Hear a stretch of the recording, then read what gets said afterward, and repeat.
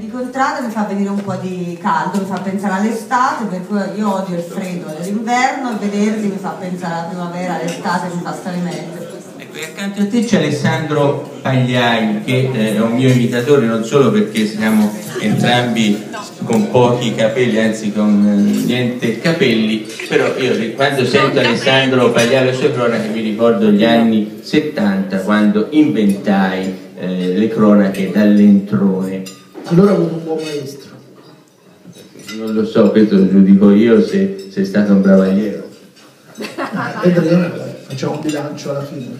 Vabbè, io ho avuto qualche scintilla in meno rispetto a Alessandro Pagliai perché rispetto ad oggi c'era un po' più di rispetto appunto per fantini e dirigenti che arrivavano.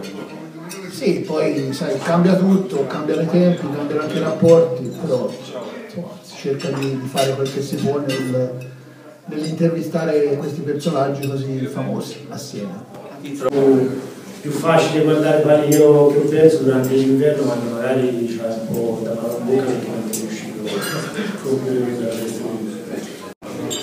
ma io sì, di, diverse volte sì, diciamo che la sera, anche quando magari ho dei momenti liberi così mi diverte riguardare, ma non soltanto i miei, è un problema.